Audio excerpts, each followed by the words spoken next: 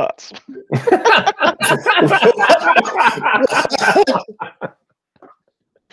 Sorry, Felipe. Let me message him. I think you have more features on this meet meeting than I'm used to. Um, Yeah, so it's a corporate. It's it's a corporate um uh account on Oh. you know that I started the meeting from, and so it has the enterprise features. Fancy. So there's like a whiteboard. Um, I can start that as well. Hey, Felipe. Welcome back. I'm, I'm back. Yeah. So I, I, I was I was just asking what's the purpose of the meeting because I, I didn't understand the title of the video call. Sorry. Did you get cut off at that point? Yes. And so okay. I, I, I started recording, and then okay. it popped I'll, up a I'll, I'll just watch the recording. Don't worry. it, it popped up a message for me, and then it said, due to a technical problem, uh, one of the people in the Hangout will have to be removed to start the recording, Felipe Sanchez. And so I clicked OK, and then it, it booted you. Thank you. As I was as I was reading out the message, and so I said it's going to remove Felipe, and then you like got kicked out. okay. No worries. So uh, I'm sorry about that. I wasn't expecting that. So uh, anyway, yeah. So um, uh, EQX is, is a tool which Eben um, and uh, team, you know, mainly Quinn as a web developer, uh, developed um, a couple of years ago for the development of Merriweather's variable font, which um, involved, I think, uh, well over a dozen different collaborators. And so Joyce, who's worked with uh, Eben and Quinn a lot on Darden Studio projects, uh, which is her company, uh, was was helping uh, as a sort of project manager to coordinate all of that.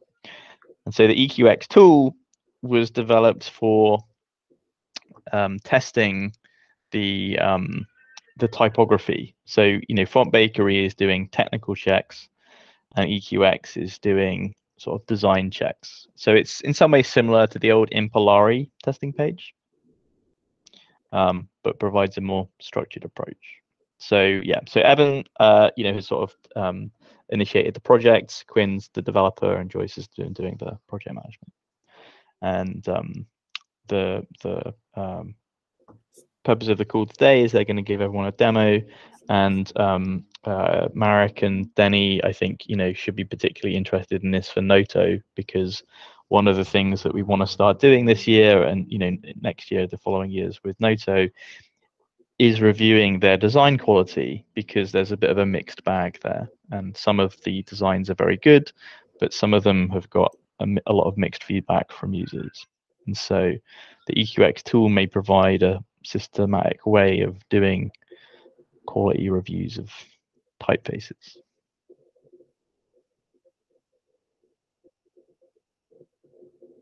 Okay, so Eben, um, uh, take it away. I guess you can share your screen. Did, and, uh, did Marek show up? I didn't. Um, uh, no, but we've recorded, so we we are oh, recording. oh, so okay.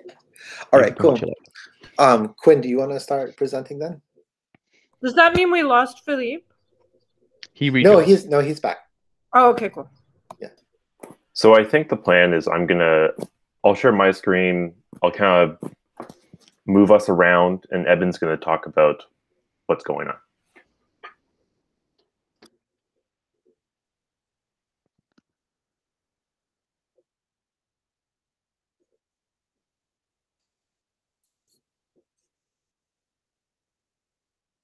So um, yeah, this is the the way it starts, and this is all stuff. The thing about the EQX you have to remember is that it's all just HTML, really.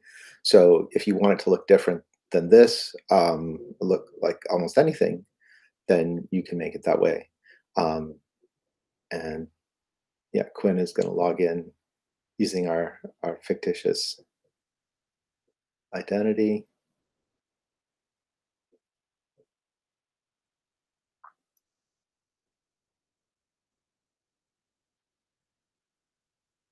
And this this tool runs in a browser. Um, it's not obvious. Oh, I should say too that we're running this locally, not on the live server. So there might be some things that happen um, because it's locally ran. Uh, like right now it's compiling each page on load. Um, when in production, you have uh, use some static assets that can be delivered. Yeah, we, Okay. we ran into an unexpected bug two days ago that w- wouldn't fix in time for the meeting, and so we're running a local one. Um, but we're expecting to fix the bug. So, in the once you're logged in, then you have a dashboard, and the dashboard shows you projects, and within the projects you have tests, and within the tests you have test questions, and that's kind of the the the, the primary superstructure. Um, so yeah, let's see. Okay. This example project. Right, so we're gonna go ahead and open up this one. And I think what we're gonna do is we're gonna look how you edit the, the questions first. Is that right, Quinn? Okay. Um, so once you've got a question that you want to ask, then, um, for instance, the most simple possible Latin-oriented question might be about the spacing of an O. You could ask lots of other questions about an O too, but let's say the question is about spacing. In the case of EQX, you can ask an explicit question, and it's designed to say, let you say yes or no, pass, fail, and then you go on to the next thing. Um, it also, EQX recognizes that sometimes the question itself needs a little explaining potentially, especially if you're not familiar with a given script um, or if the idea is unfamiliar to you. If you read the question, you're like, uh, what? Then uh, you can get some context potentially added as well. In addition to that, and we'll show this later, you can also have a reference image. So if you're looking at something and you're like, um, especially again, if it's not a script that you're used to, and you're like, I think I know what this is, you look at the reference images that are provided, you can then tell, okay, yeah, the thing I'm looking at matches the reference images, or it doesn't. And so then you can react based on that. So there's a number of different levels of support provided in EQX for each question. So here's an example where you've got like a ton of reference images. And reference images um, can be very big if they need to be. You can click on them and they'll pop up as a modal dialog. So um, Quinn, will you scroll down for a second as well? Okay, yeah. So in this view, you can see that the EQX tool knows about the piece of HTML that's um, being presented as the sample. And it knows about it to show what it looks like on the right, but it also knows about the CSS element. So if you've got something there and you want to change something about the sample that you're looking at as a test maker, you can go in and for each CSS element, change what that CSS element um, is invoking or uh, calling into uh, into view in the HTML. Um, and so you've got standard HTML elements like P and H4 and so on. Um, but we've also got a system, and we can talk about this uh, towards the end of the discussion, um, which allows you to um, take a pre-made set of very short, um, uh, in a way, nicknames for a CS element uh, CSS element um, and apply them. So um, in this case, you see EQX-CA4. And these, the ones that are here are all sort of Merriweather specific, and they allowed me to control width and weight and optical size and refer to each of these things se separately um, and quickly um, in a very, very short call. Um, this you know easy sort of easy and quick to type. Um, so you can make your own. So it's it's a it's a roll your own css kind of system. But what's great is that if you know that the typeface you're, you're testing has a specific set of characteristics you can set a set of uh, very short css names for each of the characteristics.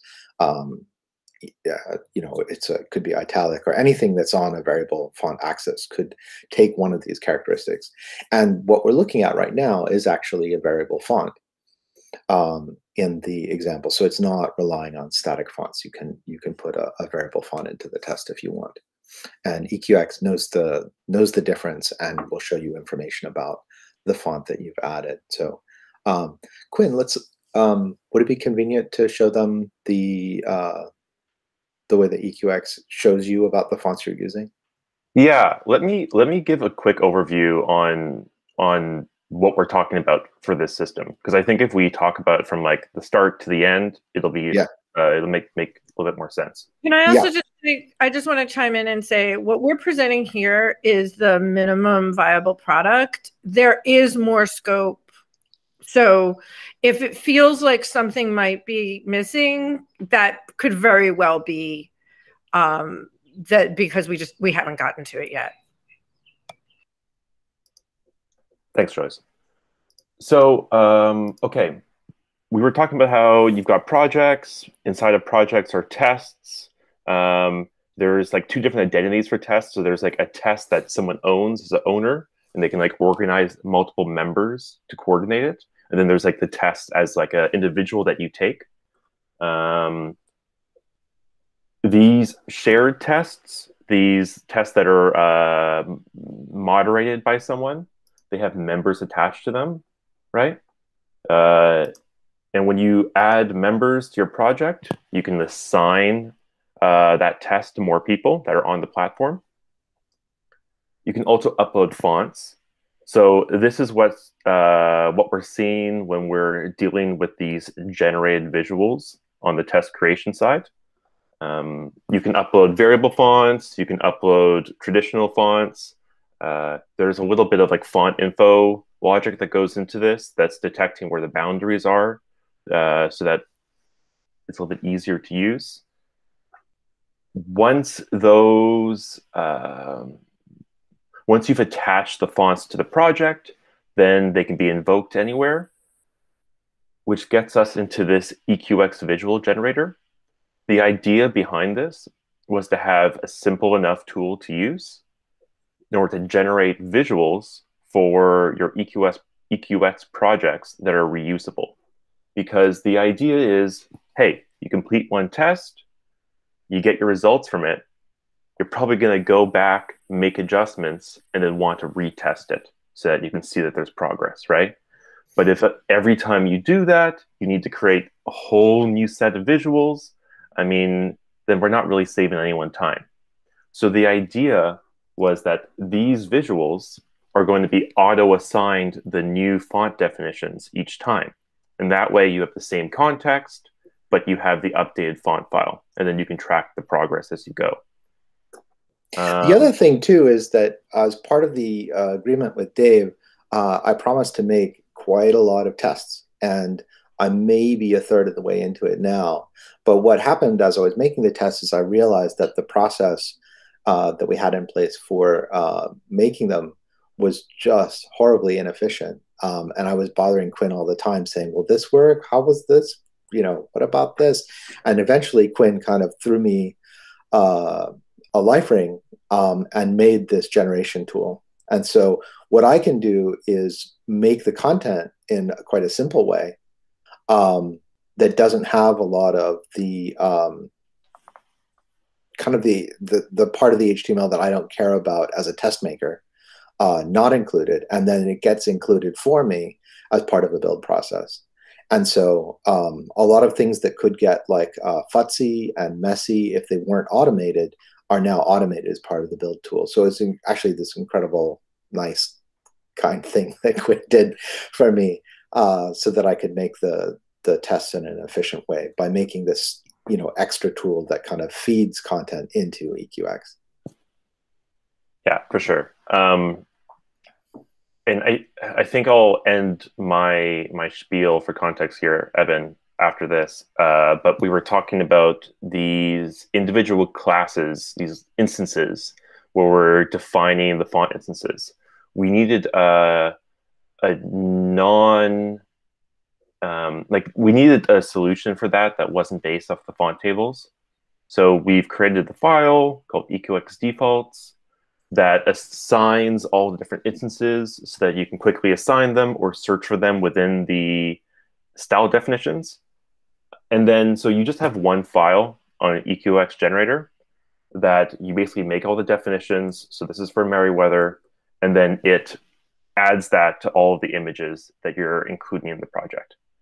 Um, so, so, do you want to do you want to zoom in and explain kind of what the relationship of the um, the very short code is to the CSS values? Uh, Because yeah. I kind of I know what's in there because I've played with it, but it's a little hard to see even for me on a big monitor. Oh yeah. Um, okay. So basically, the way that this is working is we have class definitions that happen. We're using these in order to assign specific uh, groupings of text within the HTML that's being generated. Uh, a, a- some type of like Merriweather or, or general font uh, variable feature definition. And so it begins with the class name and then the variable settings. And so, you know, this is extensible, extendable as far as you want it to be. Um, and then you basically just reuse those classes in your HTML. I can show you what that kind of looks like, but the idea is that it should be flexible enough for anyone who has, you know, really uh, rudimentary HTML background. And basically, what happens is we have a little gulp script. It combines your CSS, your examples, your header and footer, your default.js, which is where we were uh, making all those variable font definitions, into a file that's output in the dist. And I don't think we, we only have one little example in here, but Eben has a whole package of his own where you basically just make some HTML. If you're curious on how Eben is doing this himself, because his fork is a little bit more built out, uh, you can check that out. And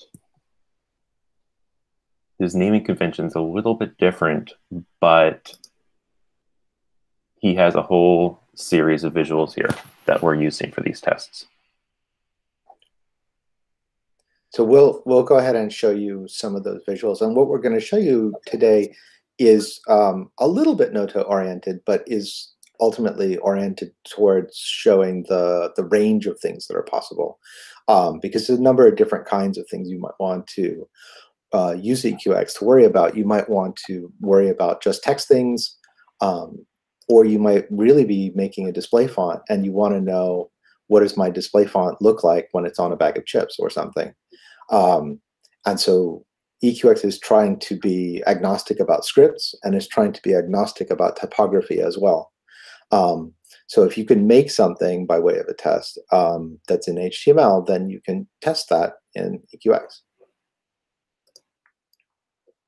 And I'll pull up the actual tests that we're seeing so that we can see them side by side from the questions that we're creating. So this is what it looks like on the front end when you're actually answering these tests. So let's go ahead and say yes, and then go to the next question. I've already pre-answered a few of these. Oh, okay. Uh, I have, but not not all of them. okay. So it, that's why sometimes you'll see things that already exist. right. So then um, I think that this is too tight. So let's say no. And you, uh, yeah, you can you can create a comment. And th actually, this this part is maybe one of the most important parts because um, you're going to say no, but it's not enough to say no. You need to say why you're saying no.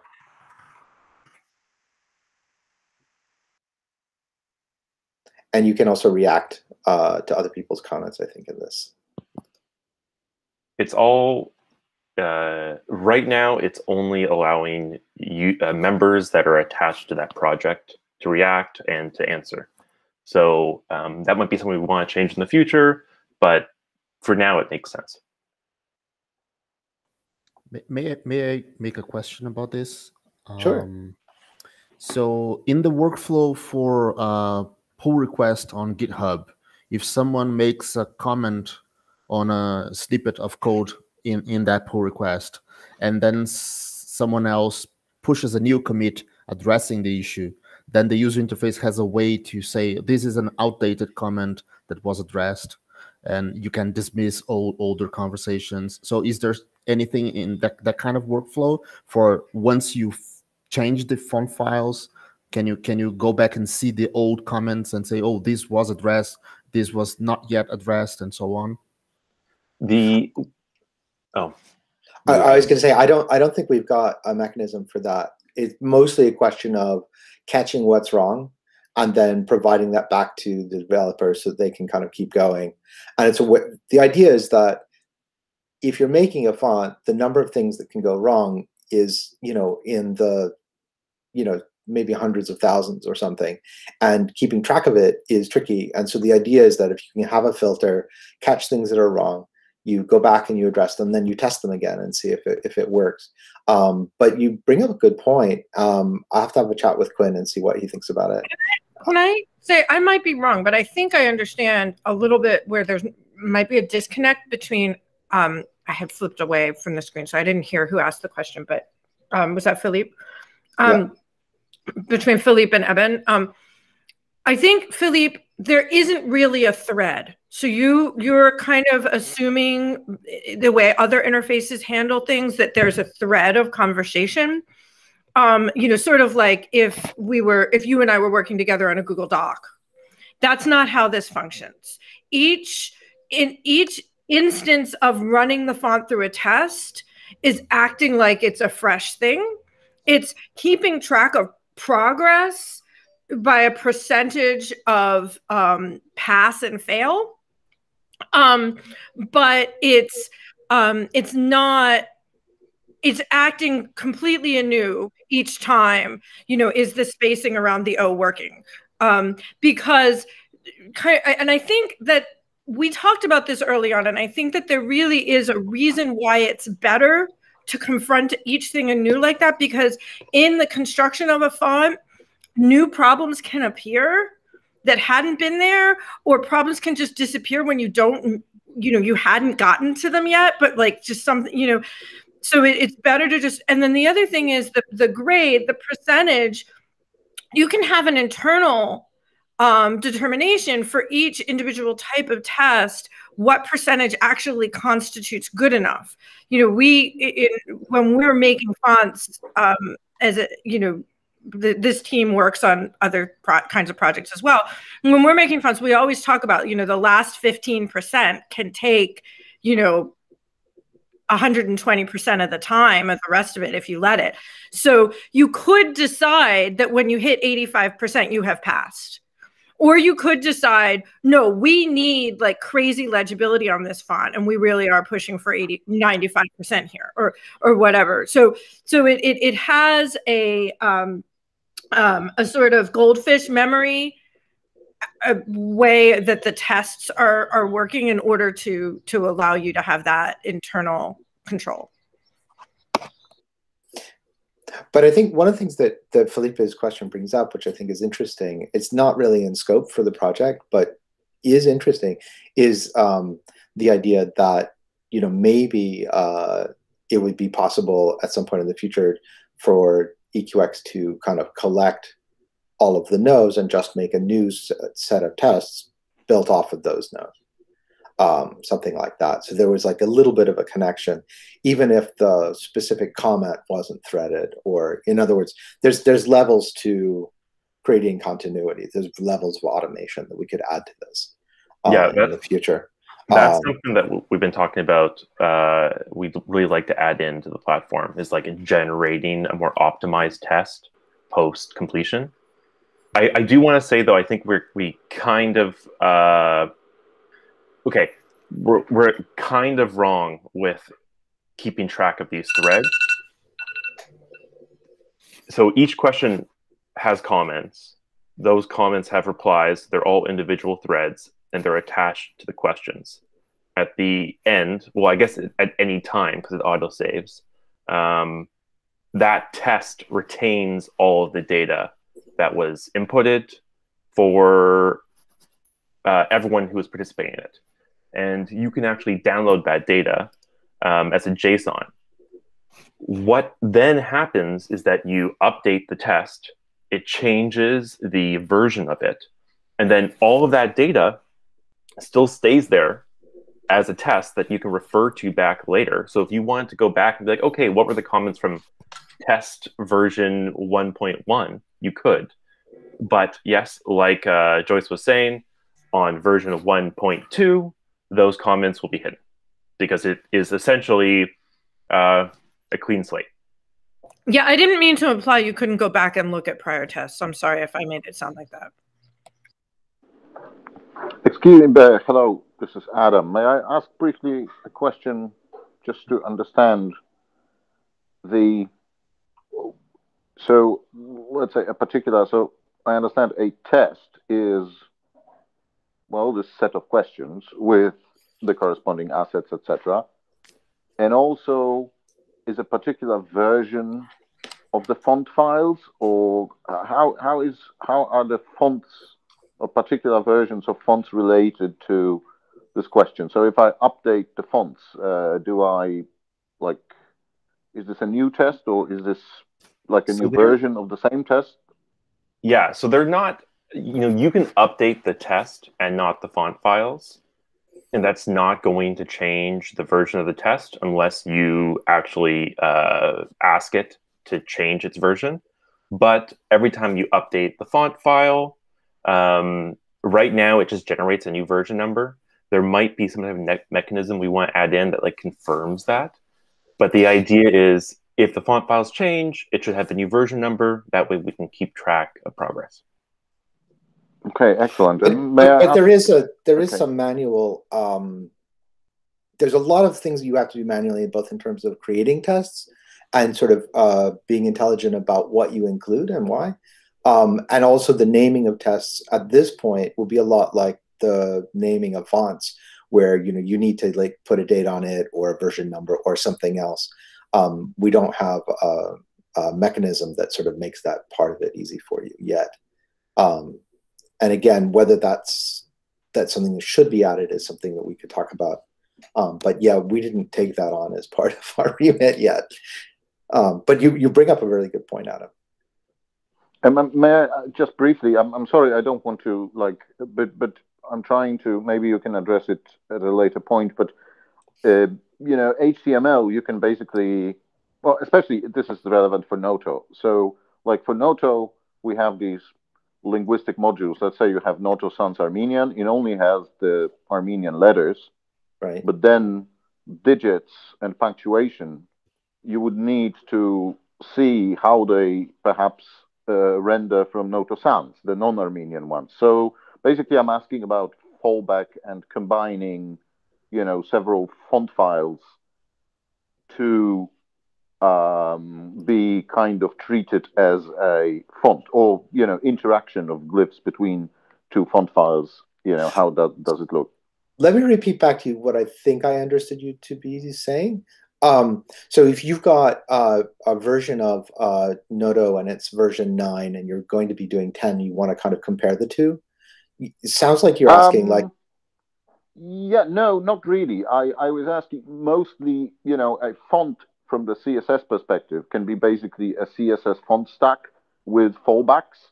So when somebody is using Noto Sans Armenian, they also need to include Noto Sans because that has digits and punctuation, which Noto Sans Armenian oh, doesn't. I see, and I see. Effectively, you get presented a, you know, the CSS font is effectively a union uh, of those two. So the so two resources. yeah. Yes, and whether this is something that you know, is uh, like when I upload some font files and then I enter text which uh, uses characters that are not necessarily in the first or whatever font. Right. What happens there? Then? I think I, I mean Quinn, correct me if I'm wrong, but I think that if you if you create your CSS in such a way that you call the first font uh, first, and then you have your next font as the kind of your next fallback, like you know we used to do for Verdana and then sans serif, you know, uh, then it should work, I think, because that's quite old technology and should be just built in because it's browser and it's CSS. Quinn, is that wrong? Uh, it, it's correct, but there is a concern that happens when you do that, which is that we are trying to guarantee that the font files that are displaying are the ones that you're trying to test for. So normally we recommend that you don't include any font definitions in the HTML files included in the page. That way you can be you know, assured that you're not displaying a font file that's unexpected.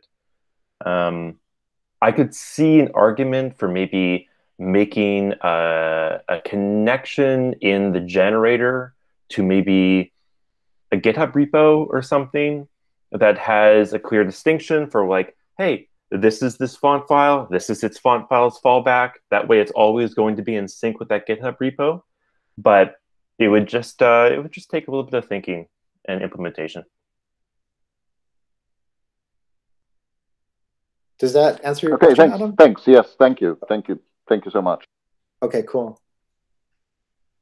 So um, the thing that we're looking at now is um, we've gone from asking questions about individual letters to a paragraph. And in this case, actually, my sample and the question don't match. So that's sort of a little embarrassing because I thought the the part after Eli and Max underneath the, the headline Plum and Cilantro, I thought that paragraph was going to be in italic, um, but I was wrong about that. So imagine that's italic though. Um, the question is are the italics comfortable and pleasing to read in a paragraph? And so what we're asking about is the character of the italic not a particular letter within the italic or the spacing of a letter or any other characteristic of a letter. We're asking about a paragraph. And so um, that is something that we're trying to use eqx uh, to do so that we're looking at uh, letter level uh, word level paragraph level questions and then pushing out into even larger typographic concepts.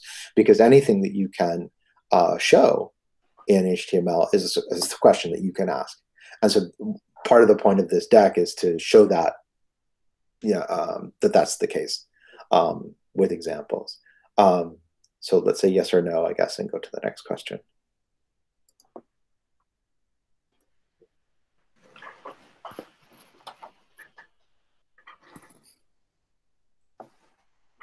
right so here we have like a poster and so um, one of the things that will happen is if you make a typeface that's really great for text it might be a little too dull for a poster. So in this case uh, quinn has added the display version of uh, merriweather which is hopefully eye-catching enough for the poster. You, you be the judge about whether it's effective or not. Um, and then um, let's go to the next thing. So you can use svgs to uh, give yourself uh, gradients and color and other things so that you can kind of create a richer, like more visually intense set of tests if you want, if that's relevant to your design, or if you were doing a color uh, font, then you know you could also um, include color. Um, but the idea that everything has to be black and white in your font testing, if you're using web pages, kind of goes away. Um, and I think that's a kind of wonderful thing. Um, so that's why I made this, just to prove that particular point. Um, let's go to the next thing.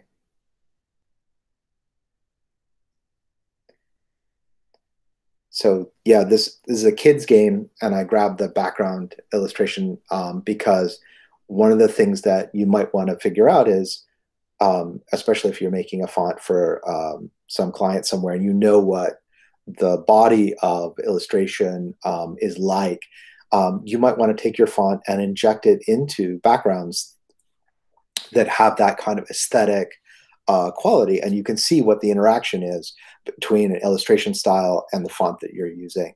Um, and that's not something that you know you worry about if you're making kind of a, a text face um, that's meant to be used in, in lots of different situations. But um, EQX is meant to be a tool that allows you to do you know highly specific uh, things and not isn't just for um, making you know um, generic text fonts or something.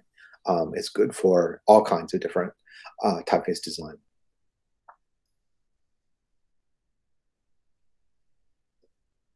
And at the other end of the scale, if you're trying to make things that are really elegant, then you might ask yourself a question like, does this look good on the back of a perfume bottle? Um, you know, so in the case of the of the the children's uh, game, I think Merriweather isn't a particularly good fit. I think here it's a little bit better fit, um, but it just shows you the power of putting your typeface next to uh, something which has a strong uh, cultural flavor, a strong cultural context.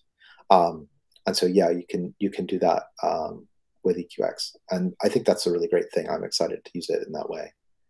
Um, and then the other thing that I think maybe the, the most wonderful thing is that we have for EQX uh, now um, is that you can scrape a web page, and it's I think it, will be interesting to talk to Quinn after we're done about um, what kinds of web pages maybe don't scrape as well as others. Um, but the fact that you can scrape a web page means that if there's a piece of typography that um, really illustrates a use that you're interested in, if you you know want to have a typeface which is you know fantastic for a newspaper, go grab a couple newspaper pages and inject your font into it.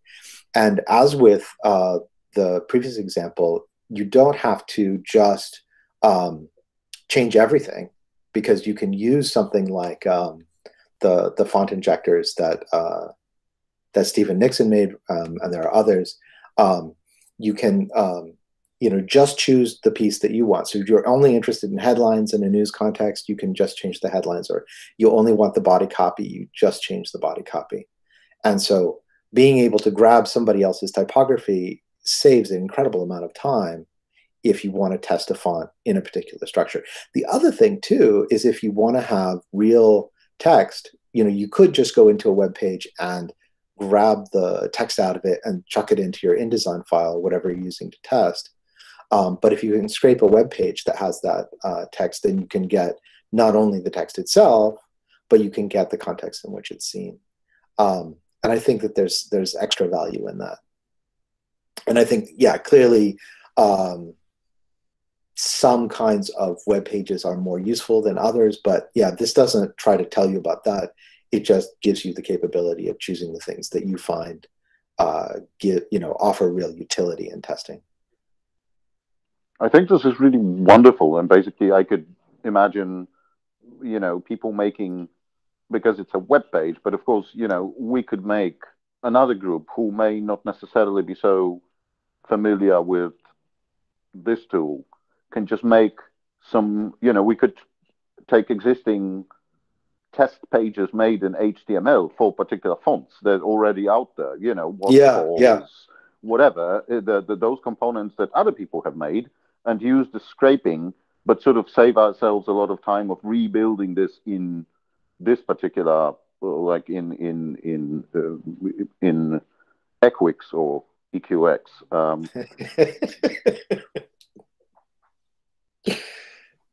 yeah, maybe we should have named it differently. Um, yeah, no, it's true. You could grab other things. I mean, the downside to uh, like going and getting, um, you know, some of the tools that exist is that they, in general, don't have explicit questions tied to explicit pieces. So I would probably encourage you to take those existing tests and kind of cut them up into little pieces and drop them in with explicit questions so you can yep, track what's I, going I, on. I agree. But yes, but but you're but you're right that you could certainly uh, you could grab them wholesale um, and it would work.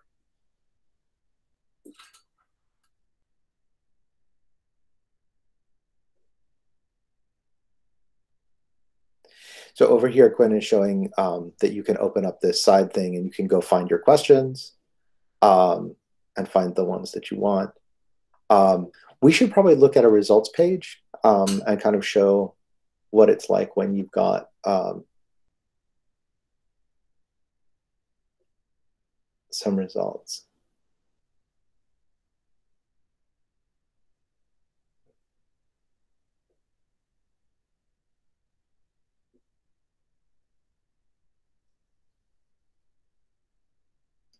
We're still doing Q&A, so sometimes we get things we've missed, like not rounding up.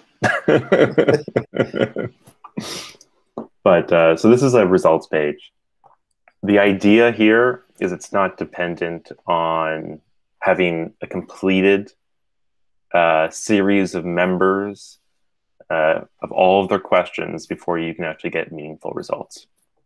So it takes averages, it uses the answers that you've already given to create a grade which is basically like of the questions that have been answered, uh, is it pass or fail?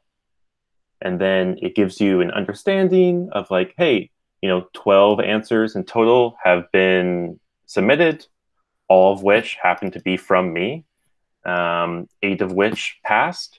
There are two people on this project. So even if I completed all of the questions, I would only get up to 50% done of that project for progress but I would still get, if I were to answer correctly on all of them, I would still get a grade of 100%. And then you basically have a breakdown of like, hey, what questions uh, are here? Which ones have been answered? How completely have they been answered by each member? And what are their individual scores? If they haven't been answered at all, well, then they don't have an individual score because we don't know if it's positive or negative. And like I was saying beforehand, you can hit download. This outputs a JSON file that gives you information on who the members are, what the tests are, uh, everything associated with them, all of the responses, all of the replies. Um, I keep saying like comments and replies because the idea is that it's like it's a little bit atomic, right? So it's like you have a comment and then you have replies that are attached to that comment. It's all relational re- relational database, and you can kind of see an overview of these results if you go to the homepage, or at least to the dashboard. So if you were to go to, yeah, if we were to go to this test, you know, you can hit members. Um, oh, I think it hasn't loaded yet. we are. There it goes. The mark of the beast shows up. I know, eh? um, and then you can like see uh, different members' progress, right? So like test users, our second member, that they haven't completed anything. The schmucks. Um, but the example user uh, is about 67% done, all the questions. And then where else are we? Oh, uh, there's an import and export. This is a feature we're still working on, but the idea for the import and export uh, is it isn't uh, just for results, is so that you can actually import and export a whole test. So if you were to create a test in maybe a local machine or on some other EQX server, because the idea is that you know you can run EQX on your own server, you can run it locally, um, it can be used as a as an independent designer, but it can also be used as uh, organization, right? Where you've got a whole group of team members that are collaborating on the Q and A of one uh, project. And the idea is, hey, I export this test. I go to my local server. I go to uh, another organization. Maybe I'm in the exact same organization, but it's a different test, and I can import it again. And then that way, you don't need to create that test from scratch and copy from a CSV or something. It's just one button. May I suggest in the report uh, that there could be some sort of highlighting of the replies that are not uh, agreed upon? Like right, uh, the, the there's some disagreement. Ones. Like uh, uh, some people said yes, some people said no. So you want to highlight what, what is not well established as a yes or no, right? Yep, excellent. That would be uh, particularly relevant for a Noto thing, I think. Yeah, because you have little organization, one person decides, but if it's a big organization, not so much. Um, if I just wanted because so my understanding is that basically right now one could create like upload the assets, the create the questions manually, but then there would be some way with this import function to also create these tests, especially the assets programmatically, right? Because well, I'm thinking the particular use case, and you know, the thing that I've been testing a lot was using, you know, browser shots and a particular font, and then kind of seeing rendering uh, as it would render on Android or on version, uh, different versions of Windows uh, because of the hinting, obviously, which is you know it's always a bit tedious to do to deal with like virtual machines, and it's kind of and of course with stuff like browser shots, you can script that, so you can you can you can make you know you can take your font, you can uh, sort of make a website, get browser shots or a similar service to to to make these screenshots on different browsers and virtual environments and then grab them back. And then you can create this test and say, well, you know, do you, you know, do, does this look fine? Does this look fine? Does this look fine? Right, it might be the same question every time, or almost, um, but for twenty different browser shots or whatever it is. Exactly, and maybe yeah. you know different strings, uh, etc. But made as an asset because, of course, you know, I, I, well, I mean, HTML rendering is great, and I, I, I really love it how it, you know, how it how it seems to be working.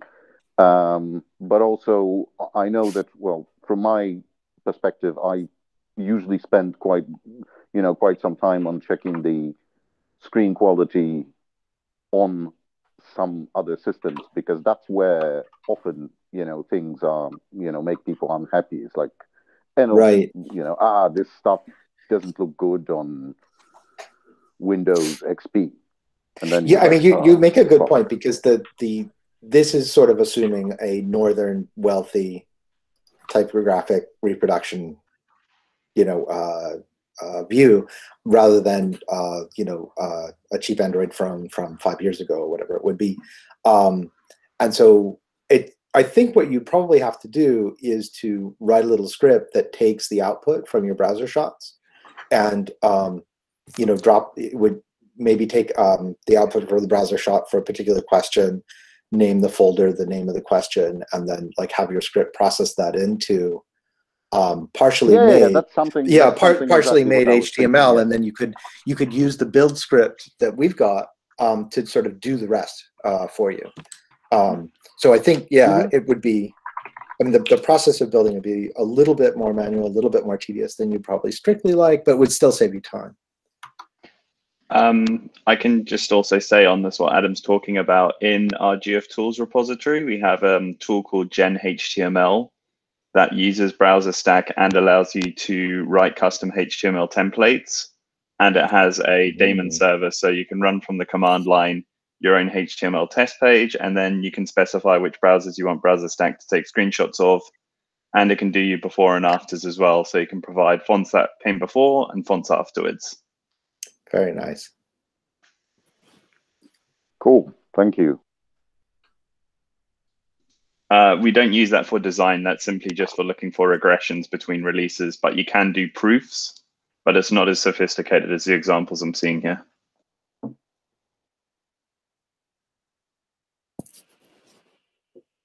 I mean, in theory, you could use a, a more visually sophisticated example if that if it was relevant.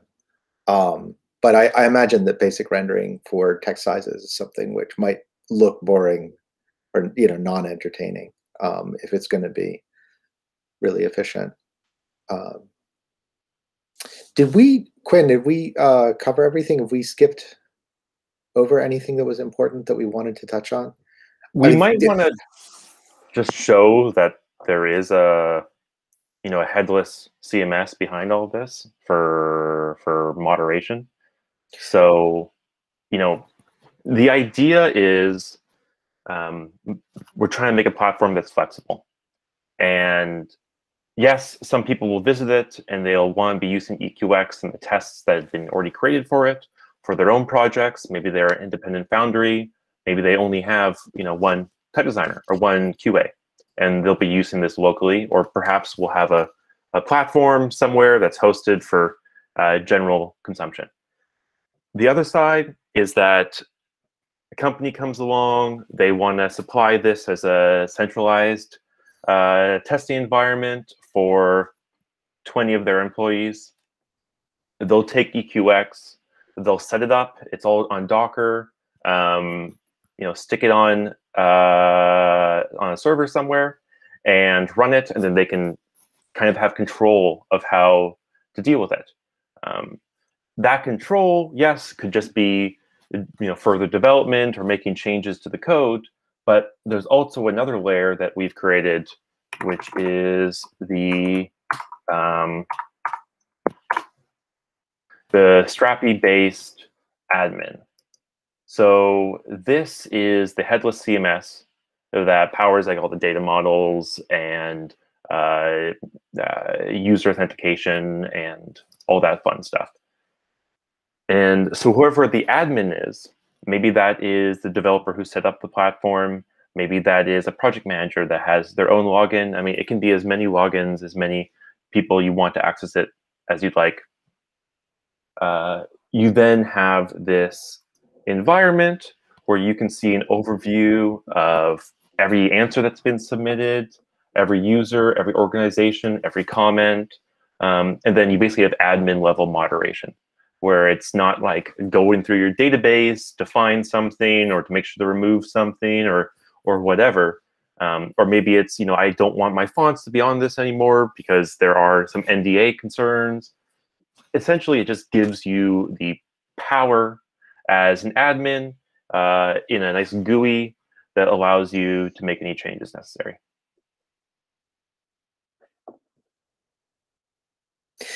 The other thing about the scraper I just remembered is that we had a bug where we couldn't do an M dash. So that was not ideal. And so, yeah, there's like, there's little things that we're trying to make better still. And I might try to convince Quinn to use a new color instead of purple. I'm not sure. It's all Material UI. So it's, it's just, uh, I just got to rename one word that's purple to any color you want. Yeah. the, the, the other the other thing that hasn't been said, but um, and I've, I've said in the recording uh, that we did for Type Weekend, is that um, when you're asking questions, it, this is maybe teaching your grandmother to suck eggs. It's a sort of obvious thing to say, but if you're designing, you know, um, uh, optical sizes or a sans versus a serif or so on, um, all the different kinds of uh, testing that you might do are going to be always very project specific. And so the idea is that I'm going to try to provide you with a range of examples that kind of shows you um, what's possible and as much as I've been able to imagine kind of the the length and breadth and height of what you could do with EQX. Um, and I'm using Merriweather as kind of my my touchstone uh, for doing that. Um, but uh, yeah, I'm, I'm trying to I'm trying to show the way in which you can make a set of uh, test questions which is specific to a particular kind of design. Um, so you know, if, if Merriweather wasn't a serif design, it was a, a sans design, or if Merriweather uh, wasn't uh, a serif design and it was um, like some sort of fantasy font, um, then the kinds of questions that you would ask the things that would be relevant to it would be completely different. Um, and so that's why EQX is set up in such a way that you you ask all of your own questions. Um, the other thing too is that um, I'm really hoping EQX will get used like um, we're talking about potentially using it for Noto, so that um, different scripts are served, and so the the kinds of questions um, that you would ask about Thai you know you need a Thai expert to ask those kinds of questions and um, yeah it, it it leaves the the door open to using eqx in a lot of different ways hey bug that's a really nice bow and arrow bug Um, but i'm I in have a a f- meeting right now can you go back out Dada, please Um, I'm I'm gonna go get I'm gonna go brush my teeth. Okay. I, um, okay, so I think we have to wait a little bit. I, I have a question about, uh, but but I, I, I want Eben to reply to the question. Um, anyway, so cute. I'm gonna go brush my teeth. Back. uh, so um, I understand what you're saying, and it relates to one thing I, I wanted to ask, uh, which is um, in the font bakery workflow, we have this approach of having these collections of checks that are pre-existing and then can can be reused for many many different font projects. And some of them are vendor specific where where it, it only applies to one organization and some others are more universal and we keep them in the universal profile right um, and and i understand that there's many many many project specific questions you can create on on this platform but at the same time i would expect to see some basic things that any form project would have to evaluate so Yeah. it would still make sense to have something similar to Font Bakery in terms of having like a collection of pre-existing checks or, or categories of pre-existing checks based on the type of project you're working on. Right. Do, do you, oh, for instance, you, I mean, you could, I, I mean, you could make not- them and save them, export the JSON files, and save Yeah. that on a repository as a ready-made collection, right? Right. I mean, the the set that I'm making uh, for Merriweather is meant to sort of offer some part of that, um, because um, yeah, some even though it's a serif, a lot of that stuff could be you know adapted to a sans serif. But if you think about um, another script like Thai, of course, nothing will be relevant. And um, if you think about a different way of writing, say Blackletter or uh, you know Old English style connected script, um, you know Bickham script type of thing. Um, all of a sudden the questions you're asking about some of the letters will sort of not be relevant anymore. So um, even though I'd love for there to be like a really huge corpus of things that are like constantly relevant, I think the reality in type design is that the size of the constancy is smaller than we'd like. Um, But there will be template tests that you know that you could make for yourself, or that I, I we're hoping we'll have a community of people using EQX, and you know you could say like this looks really close. I'm going to grab this and edit it rather than starting from scratch. Like exactly. that sort of thing will exist, but that's not coming from us. It's not going to be built in to EQS, EQX. We're we've made the platform not. Oh, there there are going to be some sample tests, but they're all actually kind of intended to orient people more than provide the actual full tools. The other thing too is that I think that if you're doing a set of tests which are, uh, let's say, serif specific, you can, in a way, remove all the serif specific stuff, and a lot of what's left over is relevant to a sans. Let's say, um, but I think if you're if you're being quite a thorough, careful user of EQX, if you're making, let's say, a geometric or you're making a grotesque, your tests should not really be identical.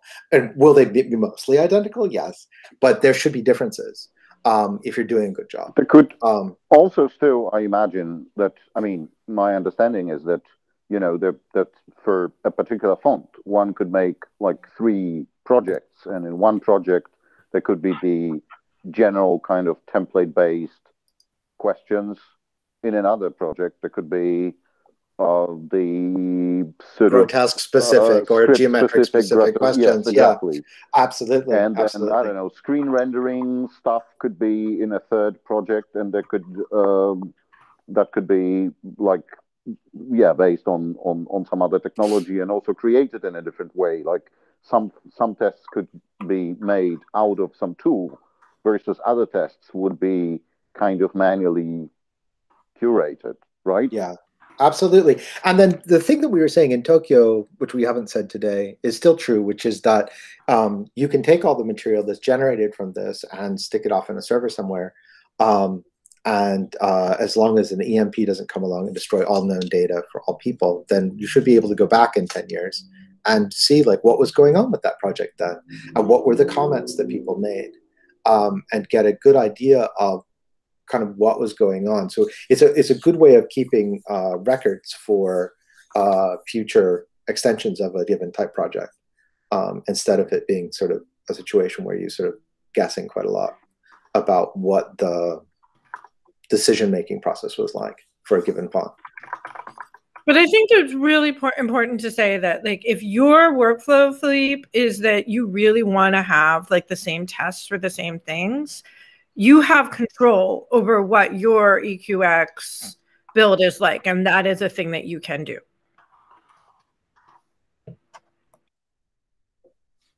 But I am hoping that when I'm done with the the Merriweather uh, test questions, that you'll have um, a fairly substantial uh, jumping off point. That you know many of the things that you would naturally want and would be sort of relevant for almost for the majority of cases, because mostly people make texty sans serifs or texty serif fonts.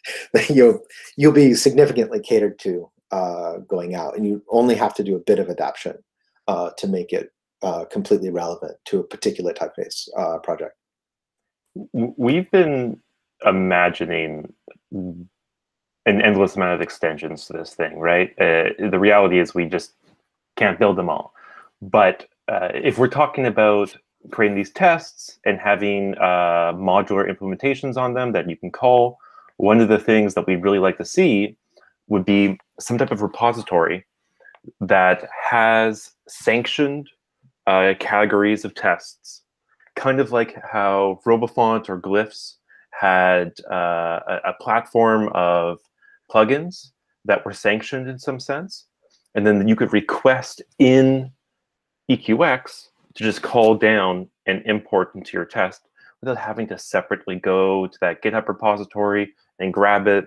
And then you can kind of uh, avoid all the possible debugging issues that might come along with that because we've already guaranteed that, hey, this test works for implementation and for importation. It's already on the platform, and you have a series of ones that you can pick. Some questions are also going to be uh, script specific and will also be generalizable. Like um, I wrote one for uh, for this meeting for the D with the vertical vertical caron or vertical caron oriented questions, um, because best practices with uh, a D with a vertical caron is to leave enough space um, so that uh, you kern your way out of what's ugly instead of having uh, letters with ascenders crash into the vertical caron and that's actually one of the ones where I, I provided um, a sample. Um, and that's that's an example of something which is not um, design specific, but is sort of a language or script specific.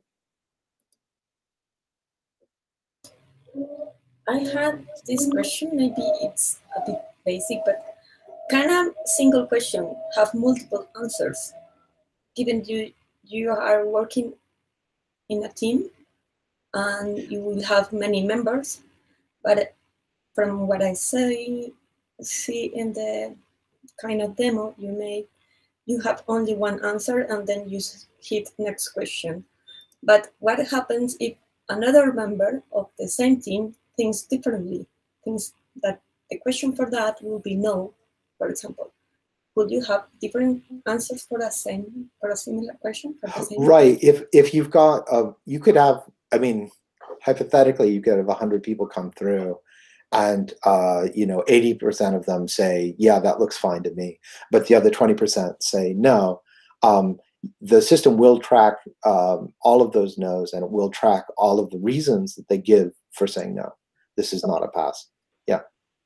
There is uh, we are being very opinionated with how that uh, answer process is done and the intention there is to be like, hey, if you say yes, there's no point for a comment. Uh, you know, we, we're not trying to create friction here. If there's a comment or some sort of distinction that you want to call out, then that answer is not yes. The answer is no. And we need to revisit it and we draw attention to it. So that's why only on no can you then participate in commenting. Um, only on no does the grade go down and does it start drawing attention from the results? Um, because the idea is we're trying to break these questions, these tests into questions that are small enough bite sizes that we can uh, start to meaningfully automate the QA uh, process and see like, hey, where are there real issues? Okay, but for that, yes, it should be the questions has to be really strategic to not be too broad, for example. Like yeah. Yeah, you, you, have, have to you have to write you have to write the question in a really clear way. And I think for what I found is that if I'm looking at a piece of typography I've set up to test something, I can often ask myself, you know, uh, anywhere between you know two and ten questions about that that piece of typography. So, um, and you know, what I found was that mentally keeping track of all of those questions for that given piece of typography is like a bit of a heavy lift. And so EQX is meant to, you know, take on that burden for me and remind me, okay, remind me not to forget, you know, maybe I remember three of the five and I forget the other two. That's not good. So if I can just write them all down, then it's a bit like taking a, um, a list to the grocery store and that way you don't forget that you needed salt or whatever it was. We're, yeah. we're placing a responsibility on the test creator in order to make thorough and specific questions so that we can move away from the ambiguity that uh, most conventional typography QA has to participate in. But also, if you're someone like Adam, then you can make a bunch of EQX tests, and then you can say, um, "Yeah, um, I'll uh, make sure that your Polish uh, text support is solid. Um, here's my test." and you can either license those questions from Adam, or um, maybe he'll kindly provide them to you, and you can use them in EQX or whatever the the situation is. But the the idea is that you can take advantage of an expert. You can ask them to write questions for you, um, and uh, get a more thorough uh, set of tests built up.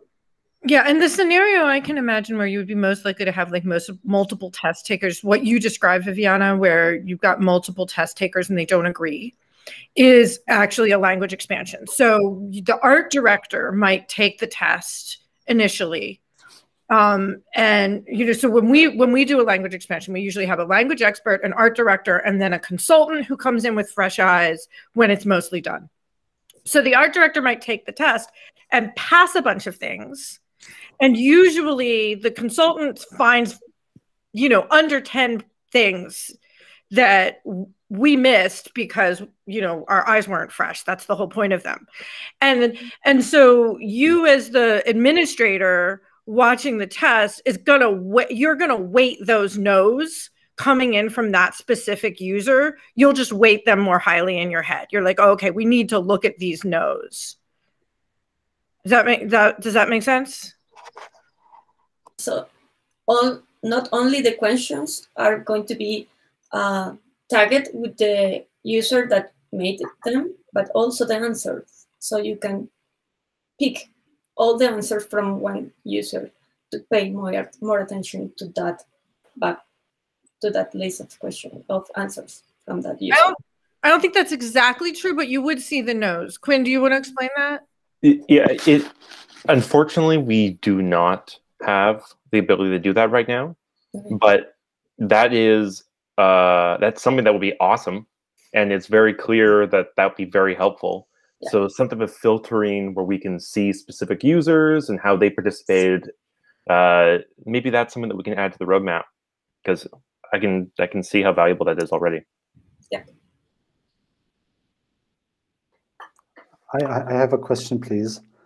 Um, how I, I, I, missed how the the imagery, the sample images uh, uh, that you're supposed to compare against, or not actually the to compare against, but the actual font images are getting created.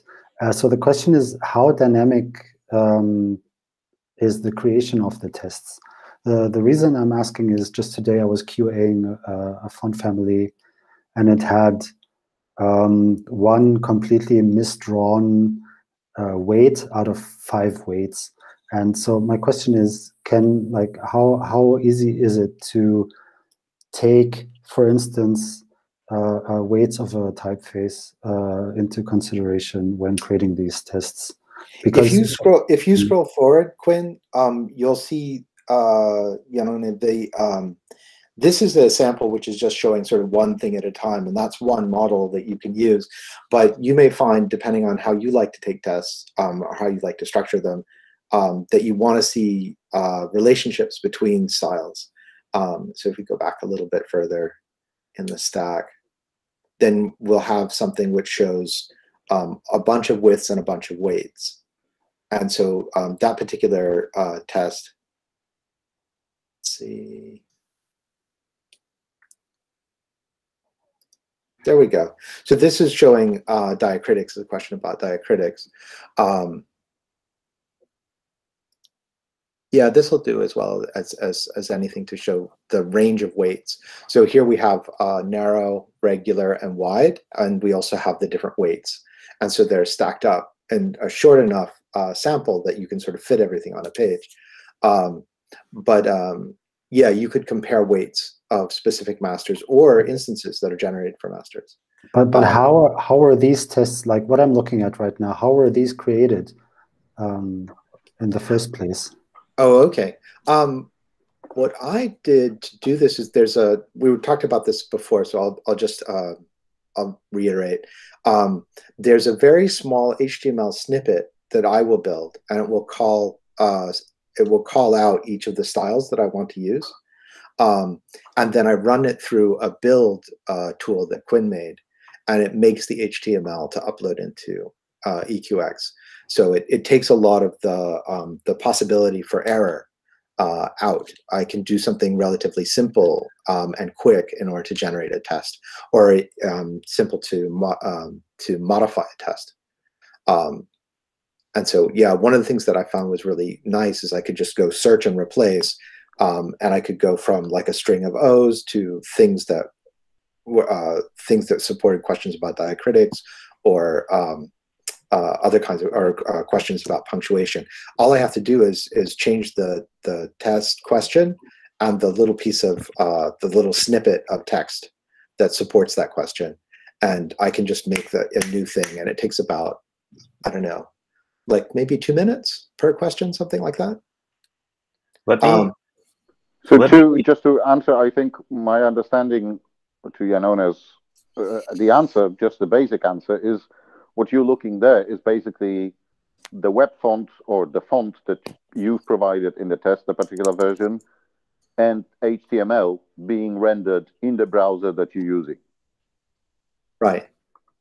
Yeah. So we we would have to pre pre render or we like if we want to create a test that's specific to a certain typeface, let's say a number of instances that are not the same across typefaces, we would have to uh, um, have a program generate the the tests basically specific to the typeface. I mean, you can make the piece of HTML that you want to use manually, but Quinn has made a tool that makes it very quick and easy uh, to do. I'm gonna try to get my text big enough on my screen so that it it's uh, easy to understand. Um, let I, I'll go ahead and present something just for a second. Eben, you're not sharing your screen. No, I'm not yet, um, but I'm going to try doing that now. So my my question of uh, or my problem understanding is uh, Font Bakery has been mentioned before, and in Font Bakery because it's code, it's Python itself, it can go into the font file and pull out information from the font file, and then use that information for the tests. Whereas um, EQX relies on on tests that were made um, that were prepared for it, right? So Yes, it does. It's- You, you you do need to ask. You need to make your own questions, and you need to make your own samples. And if you need references to answer the question, you need to upload those as well. Um, Wait, but um, the, the comparison isn't entirely fair because Font Bakery is testing the technical qualities of the font, and EQX is meant to replace the proofing process that font designers currently use, which is very piecemeal and um, doesn't retain any kind of um, project based memory as you move through. So, this is meant to add an efficiency to and the existing non-technical part of the design evaluation. Can I can I jump in here because I, I think we we're talking about one very specific way to generate visuals, and the reality is is it's much more flexible than that. Um, on Right. your font uploads, I would, I would to like how maybe to give maybe some com- com-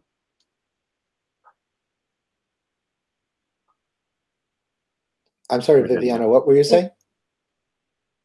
in an open source environment when you can have all sorts of users and questions. So maybe we are taking our experience on that type of process. Uh, and from that, we are jumping into these particular questions, not because we don't think the tool is uh, useful enough or something, but more because of that. And maybe one thing to consider will be which is the intended user for this tool and if it, that's going to be uh, an open source tool open to many of these questions that you could have in the future for any random food, uh, user.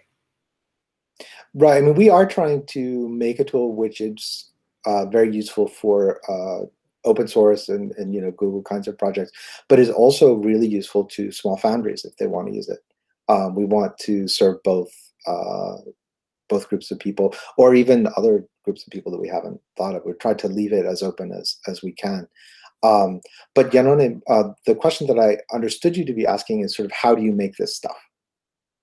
Um, I'll I mean, clarify, so- I'll what's that? clarify my question. I'll Okay. clarify it quickly. How Yeah. do I make an overview of a single letter um, showing all the different weights of a typeface that's specific to the actual setup of the typeface, to the actual instances that are in the typeface, because they keep changing across fonts. I write a script. My understanding now is I write a script that's external to EQX that generates, for example, this uh, HTML code, and then I upload it somehow to EQX. Right. So if you're talking about, let's say, a variable font, then it has a, a series of axes, and it has a series of um, what are those things called anyway? Um, uh, designer indicated, you know, spots within the, the Predefined font. instances. Predefined instances. Thank you. Um, so for the predefined instances, because you, you you know you, you aren't going to necessarily be able to to examine every one of the million spots, but if for the predefined instances you've got a set of values, you can go in and create shortcuts for each of those in the CSS to invoke each one of those, and then you can call each one of those up in order to show the width or the weight or the optical size or whatever the variable is that you're interested in testing. Because this tool is definitely oriented towards testing variable fonts. Um, not uh, exclusively, but um, it's certainly that's that's a big part of what it's meant to support. Um, but if you have static instances, you can also call those um, in a manner that's completely parallel, really. Um, the the actual the actual met the, the method is the same, but the the way that you would uh, call it would be slightly different. Quinn can explain about that better than I can. Um, but if you if you if you um, if I stop sharing and we look at that example, um, we could actually try to think. Would it be helpful if I if I just give an overview of some of the different ways that you grab instances? Because there's a few different ones. So it doesn't Oh, okay. have to be just from the EQX visual generator. Okay. Yeah. Yeah. Um, so I'll start sharing again. So we were talking about grabbing instance data, right? Uh, when you upload a font, we're using fontTools. We're extracting instances, uh, axes, pretty much everything, all the tables. Um, you know, this is all gets displayed on the front end, but we retain all that info. Will That- you show them what it looks like if you add a static font? Yeah. Do I have a static font at the ready? Um, by Halyard.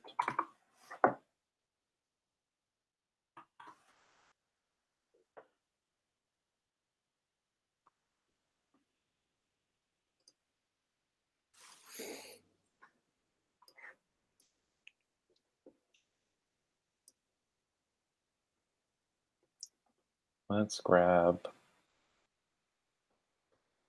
bolt. Um, okay, WOFF open. It runs all of its checks on it, gets added. You can type in the weight. I guess nothing was, uh, I I'm not sure. This must be pre-release Halyard. Um, normally these get filled automatically, but you can enter them manually.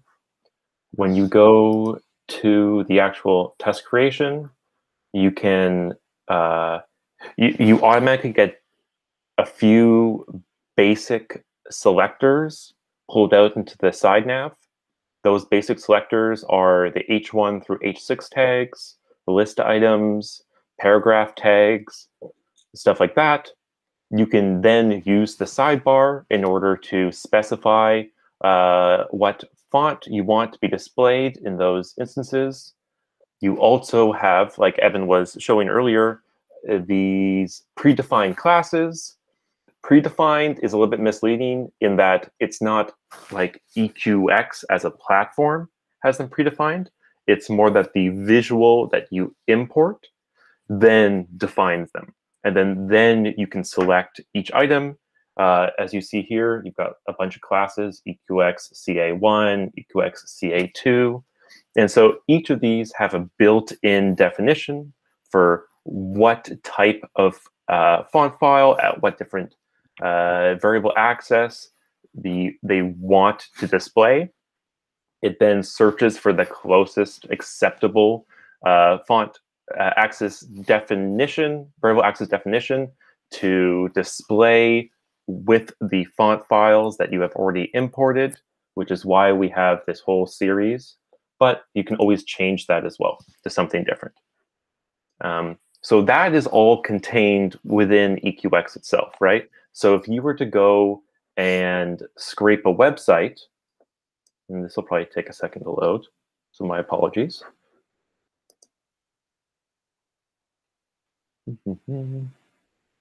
What the other thing about scraping websites is that even though it's really great that you can do it, if the web page itself is very, very complex, it can take a little while uh, to do.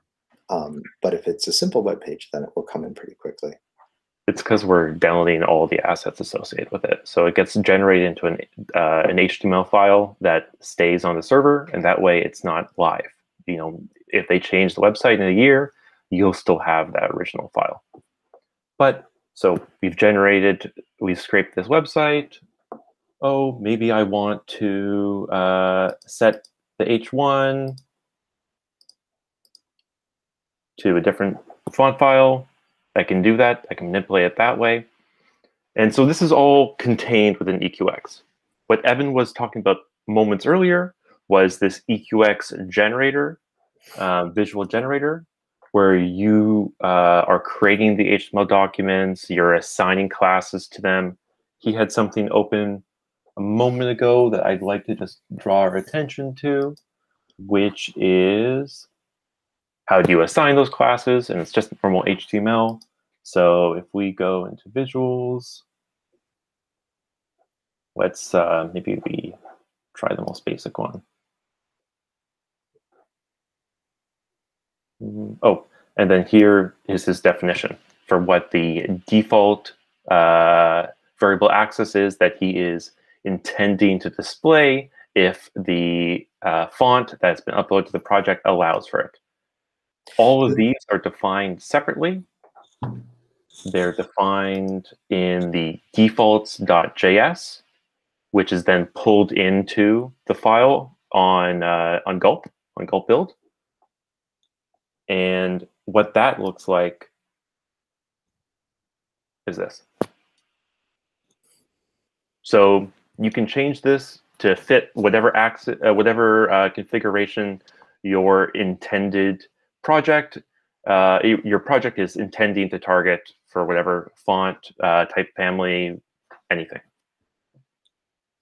So what what this is is a map of all of those uh, pre-made uh, positions within the variable font uh, across all the axes uh, axes for Merriweather, both the Roman and the italic, and it allows me with a very short three three glyph code to call up any of them. And so uh, Quinn came up with the system uh, for for creating this gulp process and also this system for Merriweather where they have a three letter code that corresponds to a width and optical size and a weight. And if there was a different font, for example, that was added to this project that wasn't Merriweather, maybe we are testing for Merriweather, I don't know, um, but it doesn't have widths, what we're doing on EQX's end is that we're using fontTools to detect what the axes are.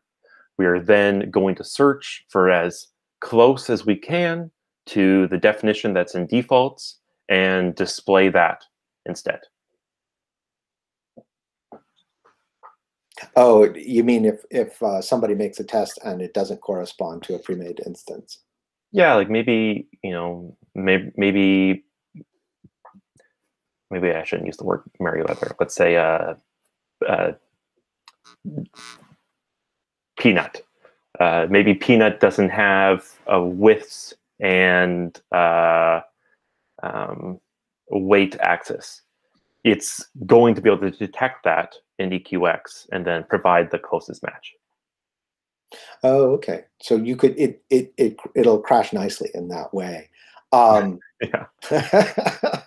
so, but I mean, what I would encourage you to do if you're testing your font is to go ahead and build, you know, one of these uh, sets of matrices so that you can test all of the spaces in your design space. So, you know, if you've got 10 axes, you know, maybe you have a 10 letter code that corresponds to each of the, you know, each of the, the, the kinds of axes.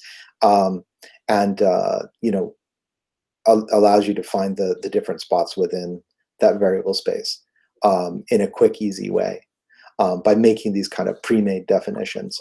And, you know, you don't you don't have to do it this way, but I think that if you do do it this way, it'll save you a lot of time. It saved me a lot of time and made building So- tests faster and easier.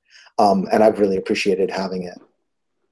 So my understanding is that basically, uh, I can make, well, I can use some tool to build these definitions that are exact for my project, but also I could reuse something that might be already existing, and uh, EQX will, well, give me some lenience and and and kind of, you know, represent even if the the the the CSS snippet wasn't made specifically for my font, it will kind of try to to use it meaningfully, right? Yeah. But but I, I definitely still would encourage you to adapt uh, what's here. And I mean, you know, the ideal thing in a way would have been to take one of David Berlow's fonts with, you know, uh, a phenomenal number of axes, um, because then you could pare it down from something even bigger. But I think that this is a relatively reasonable number of axes, you know, weight, width, and optical size. Um, plenty of, of uh, designs just have two axes. Um, and uh, the combination of upright and italic is also fairly common. Um, and I think I forget, did we create something for small caps as well, where it invokes the small caps automatically? I forget if we did that or not. Um, if we didn't, then we did. probably should. That that might be like a thing to do. Oh, Uh, we built on. that into so we used small caps as an open type feature. So oh, if ins- instead. yeah, Okay. All right. so it would just implement it generally um, because it's HTML. If the font that you're testing in has that open type feature.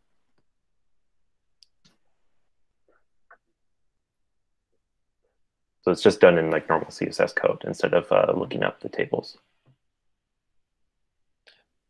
Right. So, um, but in theory, we could add it to to uh, to that thing if we wanted as a definition. Just create a new a new digit for it. Okay. Cool.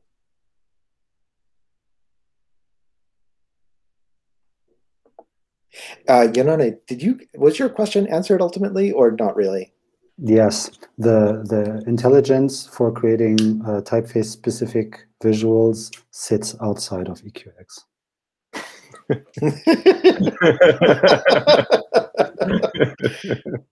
Sorry, it took a bit to get It- to that. yeah, it would- yeah, you're right. It, it does exist outside of EQX. It would have to be in your brain, or in, or is it's something which you uh, you write yourself. Uh, Yeah, exactly. Like the, yeah. the code that generates tests that are specific to a typeface uh, is not part of EQX. Like we we take care of that. Yeah. Got but um, I can also, by the way, imagine, you know, um, I would, this is, of course, there are other libraries like JS libraries that allow you this kind of introspection, and there are these kind of specimen makers, you know, quite a few of them being developed. And I can Im- imagine that this could be implemented in uh, some sort of way that, you know, that there would be, well, a an HTML snippet that you're testing against or, or a scraped website that that actually makes these stuff dynamically. So basically you're you're somehow you know you're you're using a different generator whether it's using python and it's building these physical things or maybe it's it's running the js will if i scrape a website and that's kind of like a website that say that has a variable font slider and displayed, will that also show in the scraped version? So a I'm, thing gonna- I'm keep gonna in have to mind. be back in a minute. I'll I'll I'll, I'll return as soon as I can. I guess think. it won't run JavaScript, right? it, it will run it'll try to run javascript uh, you know we we did we built a pretty rudimentary web scraper here where we're trying to pull in as much that we can save it to a single file so that it can be accessed at any time but um, yeah the project wasn't to build a sophisticated web scraper so there, there, there are issues. uh, Right. Okay. Thanks. Yeah, it, it, it'll run some JavaScript. It won't run others.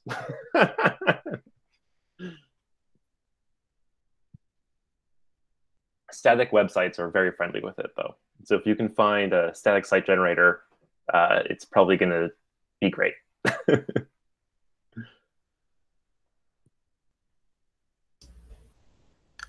So, so um, if, if you want to compare two versions of the same font, you basically just set up your, your HTML to and your CSS to, to use the two different versions uh, yourself, or or is there a mechanism to to help with that if if if you need to do it several times or things like that?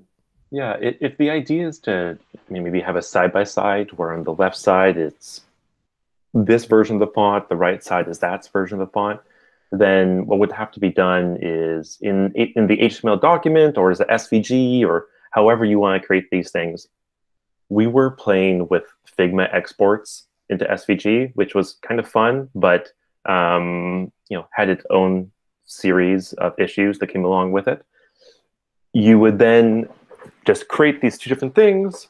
Perhaps in the uh, defaults, you're specifying, hey, this is for this uh, class definition, this is for that class definition, and, and then you could have these two fonts displayed side by side with you know live rendering type. But you could also maybe export as a JPEG or some type of you know static image and display that to the right of it. Uh, it's, I think a lot of the answers to a lot of these questions is basically, can the web do it? If so, then we can do it, but there's probably more than one way.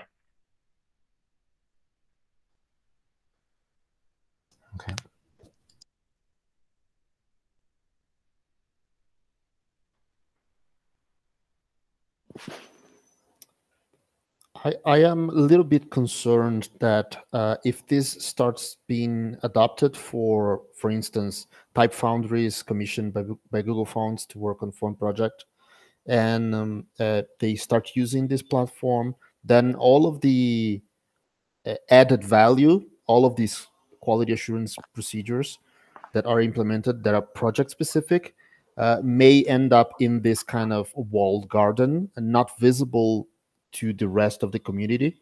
And as Google Fonts works with uh, only Libre licensed font font projects, I would expect to have all of these more transparently available to whoever in the future may want to fork a project and continue working to be able to deploy the same initial set of tests that were implemented here. And I, I don't see an easy way to to make this more uh, uh, more transparent, uh, less of a walled garden. I, if I understand correctly, what you're asking for is um, some some type of way to guarantee that any test or any series of, of documentation that's created for these these projects or these tests are available to the community, right? Because they are they are an I, I believe that they are they become an integral part of the project itself. Uh, yeah. The project is not only the glyphs file or the UFOs, but also the quality assurance procedures that were implemented specific to that project, right? Uh, yeah, uh, for sure. Um, I, I mean, my personal opinions around that, I'm, I'm going to like set to the side for a second. It, this is an open source tool. It's Libre. Um, as far as I understand, that licensing does not require anyone who uses it to also open source what they create. And however, the the agreements for making the fonts with Google usually require that you show all of your work on Git. right? So there would be a way. I think there needs to be a way to incorporate this into that. Yeah, like it, maybe in in those commission projects, there could be a clarification that the testing documents that are created to be used with this tool should also be published alongside the typefaces. But I I think it would be perhaps hazardous to build in some type of feature to this platform that forces uh, users of it to publish everything they create because sure because yeah. the, the, tool can can also be used for proprietary fonts or or Precisely. fonts under NDAs and so yeah for sure you, you, should not uh, make it mandatory but I think it would be useful to have the feature to to make it easier to integrate into like keeping track of what was created and uh, may, maybe the file format that you use for exporting is enough but i don't know if it includes everything or just or just the templates or? Yes it, it should well it it should include can you deploy it completely based on just the files? That is the intention. Um, you know is that working incredibly smoothly right now? Not yet. But then, but, but but will it include also the the answers that people made, or or just the questions? Well, I, I think we need to have two options, right? Okay. One that strips out all the answers, and one that only that includes the answers in case mm-hmm. you wanted to use it through your own system.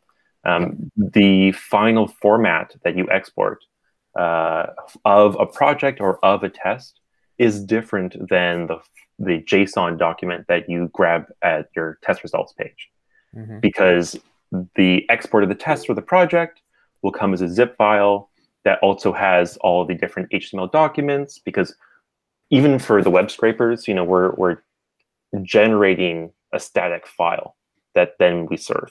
So anything that's displayed on the platform as a question is attached to a static file and therefore can be attached into a zip file so that you can import it on another platform or just document it on GitHub. Okay. Sounds good. And I think just about everybody's going to care about saving the test results um, because it's part of tracking your work. So that even for proprietary projects, like we're, you know, we're doing that on Git for our own internal stuff.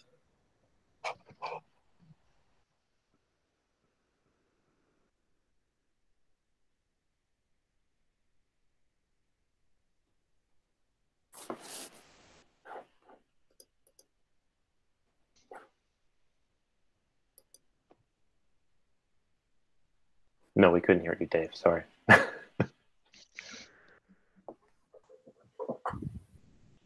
so I think soon we're planning to release a beta of this that we're hoping will encourage people to use the platform and start creating tests. Um, you know, we don't have a release right now on the public repo. We don't have a, a very clear roadmap for future development. But these are things that we've been keeping track during development and we'll probably publish alongside it when we do do that uh, release.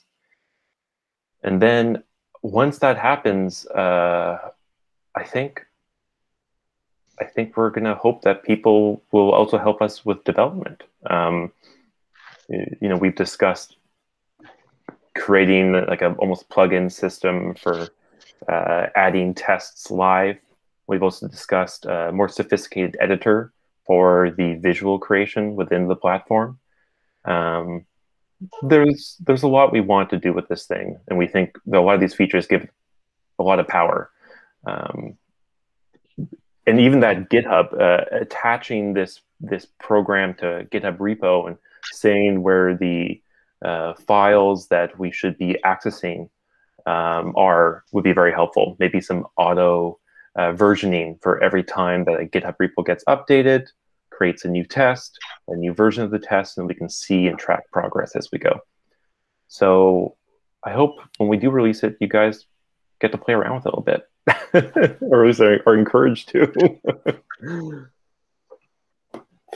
I wanted to say that um, I think it's sensible to kind of limit the scope, as in, you know, there are let's say for what Felipe was saying, you know, about this, say, sharing and everything of tests. I don't think, you know, I mean, at some point maybe, but I think it would be sensible to first think about this good export functionality and maybe, you know, somebody else like Google Fonts, like has the font bakery, could then create a repo where these archives could be uh, could be placed. But this, this, of course, it it, it all, um, well, I mean, as as long as um, you know it's it's libre or li- licensed properly, the content. Uh, that's like the only you know concern that might be raised. That uh, let's say if, but that's again, that's not part of the tool. That's part of uh, how you make projects. That, for instance, you know, a test writer or test author would only use materials, these reference materials like scraped websites or etc., that are that allow uh, uh, republishing, and then you know you get this archive of um, the tests without the answers, um, put it into the repo, and somebody else can import it for a different project. I think that's that's sem- sensible, but I I don't think you should be you know, you should try to make this into like a, a you know, template Figma style where there's a whole community website and you can I think it's it's it's it's better to to have a file format um, you know interaction. So basically I can serialize this to some file and then maybe you know prune it manually unzip prune it manually, edit something, and then package it back for for like reuse and publish it on some repo uh, that that ho- holds those uh, test templates or project templates, as it were. Yeah, I, I agree. And it seems like in the in the font community, that is the most successful way um, modularizing these different uh, tools so they can be used in any platform. People can interact with them in any way that they feel most comfortable, and then you know spin off uh, plugins is the wrong word, but spin off tools that help support it. The other thing too is that you know as we were talking about potentially doing this, like when in the conceptual stages of this, one of the things that came up quite early is that nobody's really uh, capable of writing all of the tests. You know, the expertise where fonts and scripts and so on are concerned is is fairly distributed, and um, you know your your interests both in terms of uh, style uh, that a font is made in, and also in terms of script support. Um, is is going to be a distributed thing and so you'd want to assemble a team that would ask questions that are relevant to your project. Um, so even though you could make things that are you know reusable like i was talking about with felipe earlier in the in the call um, the the importance is um, and especially like for something like noto would be to uh, not pretend like you know what the answers are but instead find your experts you know trust them get them to write the questions and you know get a really uh, solid um, set of questions for your particular project. You know, do the tailoring. Um, you know, make it right in that way. And and so we've left things open with EQX with with that model in mind. And just a quick clarification: I can, when I go through answer the test, I can leave questions unanswered, right?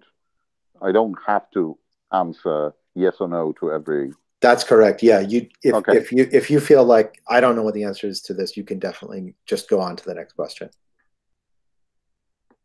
Um, I mean, there actually I hadn't thought of this before, and um, this might even be scope creep, but um, it would be maybe interesting to put in like an I don't know button as opposed to just passing. Um, I don't, I don't know how awful an idea that is, um, or how useful an idea. I don't know is no. I don't know is no. And then you leave a note saying, I don't know. I actually don't know because, you know, there's this or that that I'm missing. Yeah. Well, I think this is, it, it's maybe worth discussing a little more. Um, well, the only, I mean, the advantage of saying this, I don't know, is meaning, you know, if you, if, if, if there is, well, no can kind of people may think that there's something wrong because some percentage is not completed.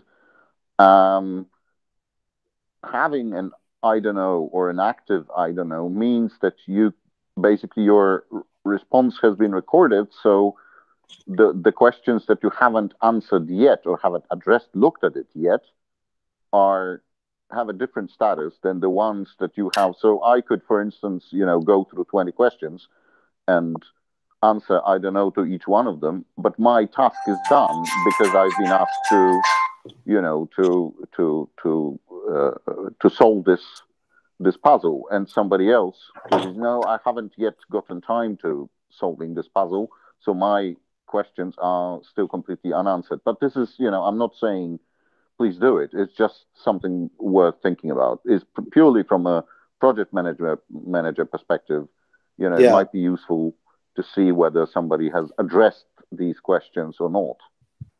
And There- all, all all the answers that include an I don't know from one of the team members could be reviewed by whoever made the test to be sure that the question is clear.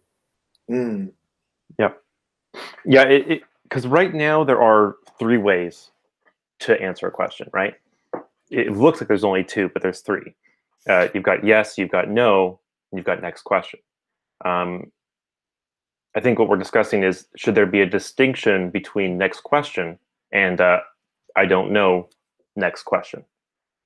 Um, I think that's something that we probably will have to do some testing around. Uh, one of the things that we've been very careful of in the development of EQX is not adding in uh, too many possible responses that distract from the clarification of you know a pass fail system. And i could see issues with that but we'll look into it more and you know maybe there's a, a smooth way where i- as simple it is as simple as it is in order to hit the next question it is to hit i don't know next question.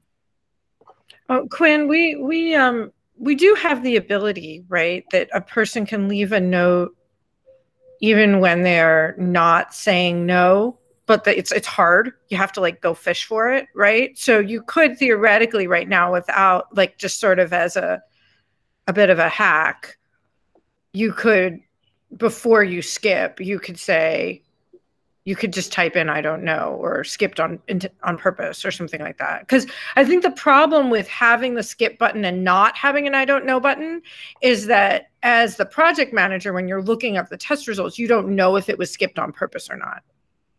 Mm, yeah good point So am Um, I right that right now you could add a note? It, it, there's friction, but you could.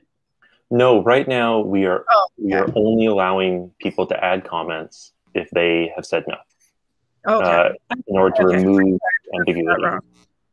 But yeah, you know, there might be. It, it, I I could see a scenario where instead of uh, creating a response of "I don't know," you then have sort of a modal or some type of uh, interaction that confirms that you're purposely skipping this question.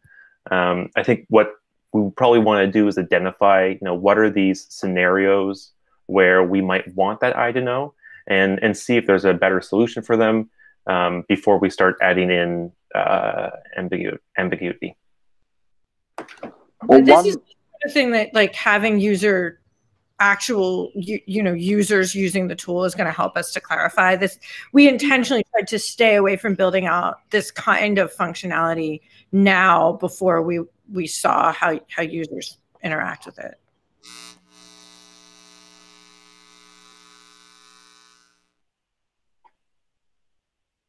I think the typical uh, scenario for kind of skipping temporarily versus skipping permanently is that you know you could skip temporarily because you need to do some more research on the question. You know, maybe the question is is oh, I need to sort of consult with somebody, send a screenshot, and you know get a second opinion, whatever. But then you want to proceed with with uh, the other questions of, of of the whole thing, answer you know everything quickly as much as possible, and then maybe come back to to the ones that for you as the answering question are still outstanding, so you kind of skip it temporarily, you know, later, I'll answer it later, versus a real ignore this question for me. Yeah, So and, that's and, two different. and and maybe that maybe that there I, I see that there are probably a, a a range of solutions for all of these problems. Um, my my uh, initial reaction would be, hey, if you missed a question, maybe on accident, or maybe you've skipped over a series of five questions on your test, on the test results page, it should have something that displays, hey, you skipped these five questions. Please revisit them if you have time. Um, or, or some type of check at the end of the process that allows you to be purposeful or to guarantee that you're being purposeful. But I, I, think I think like Joyce was saying that we probably need to get um, little bit more data for how people actually want to interact with this platform, since we are proposing uh, a solution to what is usually a pretty open-ended QA process, and proposing a more uh, target-driven one. But I, I think uh, Adam's comment, the thing that it, it reminds me of is that um, EQX has made it with sort of uh, significantly a idealistic idea about what the process should be like, or sort of seeking an ideal process. And in doing that, I mean, I think that's a good thing in a way, um, but various realities will intrude, and um, people will make tests which are incomplete or ambiguous in various ways, or where you know the the references aren't supplied, even though they could be. Um, and so, yeah, there, there, there, may be scenarios where, you know, when the rubber hits the road there, we need to, to do a little something extra. Yeah. When, when it'll be, it'll be interesting to see if there are impossible to answer questions uh, for yes or no. Obviously, our understanding of what is needed for all uh, type family QA processes is limited. so it will, I guess it'll reveal itself in due time. But I, I do like the, the the yes and no, and I think you know the, the there will be some writers who will formulate uh, like tutor people on on writing good questions because it's not obvious. Like you know, like if uh, well, I, I just laughed because a, a few minutes ago Dave on the chat asks ask something like, uh, "You couldn't hear me, right?" And that's a question that you don't know how to answer with a yes or a no.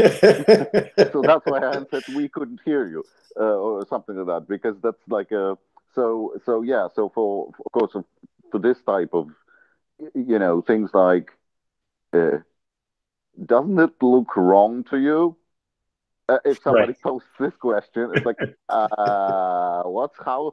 So you know, but that's of course not part of the tool. That's part of the the uh, uh, um, kind of tutorials or something which I think you know people uh, will create, and this is this is sort of like a different responsibility, but but I think uh, would happen.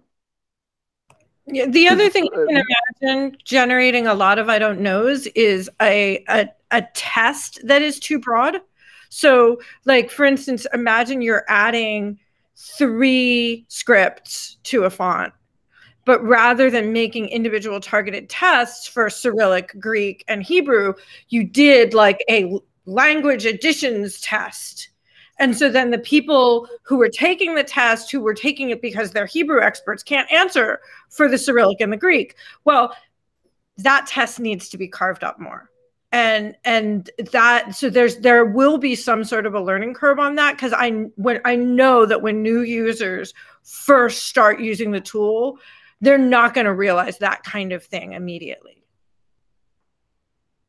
Yeah, I think there's a lot of um, there's a lot of baked in opinions with EQX that push test creators to create more modular, specific, um, and perhaps shorter but plentiful amounts of tests. so that they can be a little bit more digestible and targeted, um, which uh, might might will, will, probably require some type of training and, and some type of uh, community moderation, be, uh, maintaining and bettering the tests that are created and reused on this platform.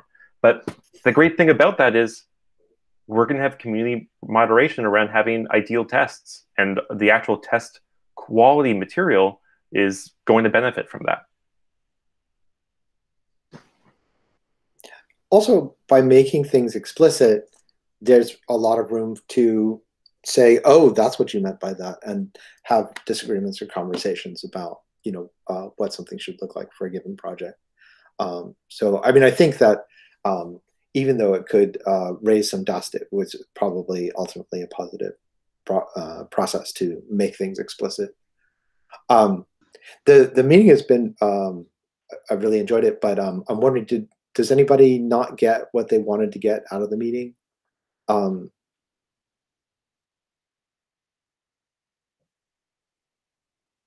okay, cool because um, I know that people are starting to say, "Okay, I have to go," but I wanted I, I, wanted to make sure that we we uh, we covered issues. But the other thing too is that we're very happy to to hear from you guys if you have questions and you're you know if you're uh, chewing into this thing. Um, I'm sure that there'll be bugs here and there, but also um, conversations to have. Um, and so yeah, I'll look forward to having those conversations with you later, and I, I imagine Quinn as well. Cool. Just a very brief yeah. Thanks very much. will each each question have like a unique URL if it's published on a on a running server, so people can just you know, uh, or well, maybe no. Let's forget it. Uh, I'll I'll ask some other channel. I'm just thinking well, of I, scenarios I can, I can where you know quickly. people want to point.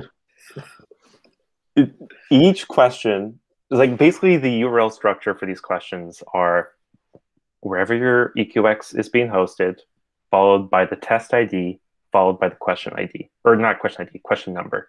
So yes, each okay. question has a unique URL, but you still need to have you know permission to access it.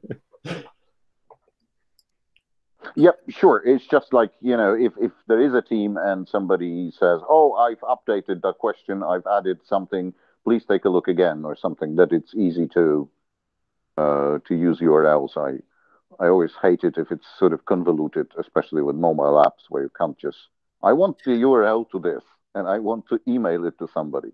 Yeah, that that that makes sense. You want to be able to to uh, dig in more um, more directly.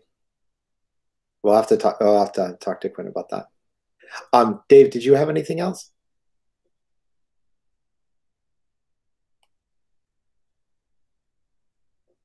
Uh, hey everyone. Uh, no, I'm, I'm good. I, actually, I'm, I'm already going to go into the other meeting. So this has been great. Um, I'll, I'll circle back with Denny about how we could use in the Data project. Um, and Adam um, might be able to help uh, advocate as well. Cool. So I'll stop the recording and uh, thanks everyone. Thank you. Yeah, thank, thank you.